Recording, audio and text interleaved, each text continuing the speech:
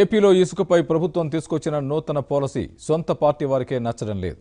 ఇసుక విధానంపై వైసీపీ కార్యకర్తలే మండిపడుతున్నారు. ముఖ్యమంత్రి వైఎస్ జగన్ తీసుకున్న నిర్ణయం సరైంది కాదంటూ ఏకంగా కార్యకర్తలు పార్టీనే మారుతున్న పరిస్థితి ఇప్పుడు నెలకొంది.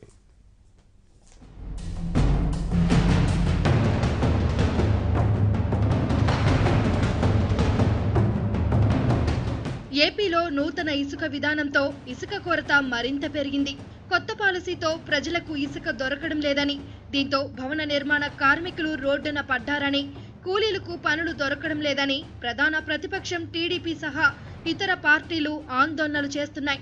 ఇసుక కొరతతో కార్మికులు పనుల్లేక పస్తులు ఉండాల్సిన పరిస్థితి దాపరించిందని వైసీపీ కార్యకర్తలు సైతం అసంతృప్తిని వ్యక్తం చేస్తున్నారు.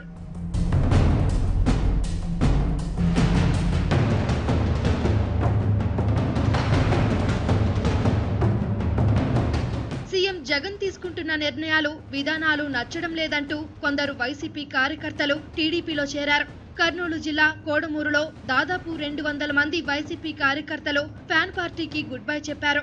కేంద్ర మాజీ మంత్రి టీడీపీ నేత కోట్ల సూర్యప్రకాష్ రెడ్డి సమక్షంలో పచ్చ కండువాలు కప్పుకున్నారు.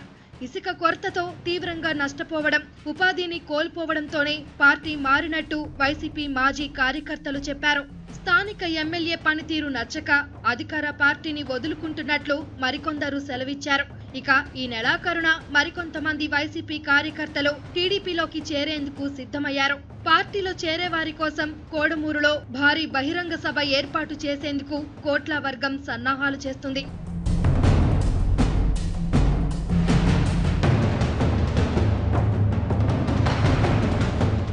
పరిపాలనలో సీఎం జగన్ విఫలమయ్యారని కోట్ల సూర్యప్రకాష్ రెడ్డి విమర్శించారు.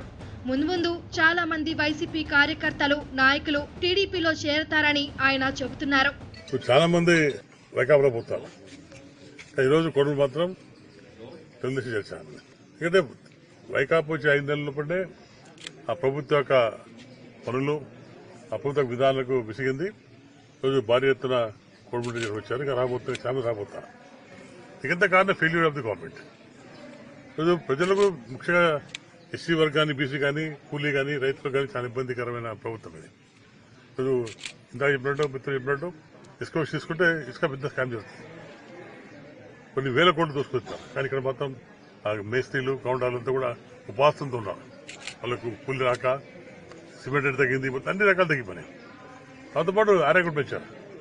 అన్ని రకాల ఇబ్బందులు పెట్టి ప్రభుత్వం మీరు చూస్తుంటే వీళ్ళు తట్టుకోలేక పెట్టుకొచ్చాడు మాకు న్యాయం కావాలి మాకు తప్పకుండా ఆ, తెలుగుదేశం తప్ప- ప్రకాశం వాళ్ళు ఉంటే తప్పుడు న్యాయం ఇస్తుంది రాజకీయాలు ఎక్కువైపోయినాయి. అన్ని చోట్ల రాజకీయ పాత కేసు తీసి రాజకీయ చేస్తారు కొడతారు. నేను మాత్రం మా పోలీసులు కూడా వార్నింగ్ ఇస్తాం మేము తప్పకుండా కాపాడతాం. మా కార్యకర్తల మీద చేసి మొత్తం ప్రయత్నం లేదు. ఎవరైనా మేము పోరాటం కూడా మేము వాళ్ళకు వార్నింగ్ ఇస్తున్నాం. దయచేసి త- తప్పుడుదలు చేయకుండా న్యాయం చేయండి మీరంతా కూడా.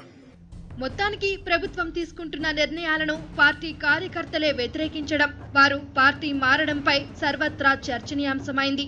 అధికార పార్టీని కాదనుకొని ప్రతిపక్షంలోకి వెళ్ళటం పట్ల ప్రభుత్వం ఇసుక పాలసీపై సరైన నిర్ణయం తీసుకోలేదన్నది స్పష్టమైందని టీడీపీ నేతలు చెబుతున్నారు. కేవలం ఐదు సంవత్సరాల తర్వాత రావాల్సిన అసంతృప్తి ఐదు నెలలే ప్రజల్లో వచ్చింది కాబట్టి ఇంత భారీ ఎత్తున ఈరోజు మా కుటుంబం సమక్షంలో వచ్చి పార్టీలో చేరడం జరిగింది. ఈ పరంపర కొనసాగుతుంది. నెక్స్ట్ ఐదు సంవత్సరాలు కాదు కదా మూడు సంవత్సరాల్లోనే ఈ ప్రభుత్వం వైఫల్యాలంతా ప్రజలు ఎండగట్టే పరిస్థితి వచ్చింది. కేవలం మాటల ప్రభుత్వం చేతలకు వచ్చేసరికల్లా వేరుగా ఉంది.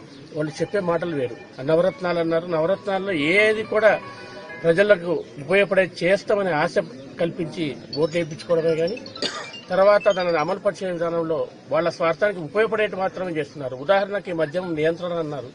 ఈ రోజు మద్యం షాపులు గవర్నమెంటే నిర్వహిస్తుంది. షాపులు తగ్గించామంటున్నారు. కానీ డైరెక్ట్గా ముఖ్యమంత్రికే కంపెనీల నుంచి వేల కోట్ల రూపాయల సంవత్సరానికి వెళ్ళిపోతున్నాయని చెప్పి మేము ఖచ్చితంగా ఆరోపిస్తున్నాం. మాకు తెలుసు. ప్రభుత్వ విధానాలను వైసీపీ కార్యకర్తలే వ్యతిరేకించడం జగన్ పాలనకు అద్దం పడుతుందని టీడీపీ నేతలు సెటైర్లు వేస్తున్నారు.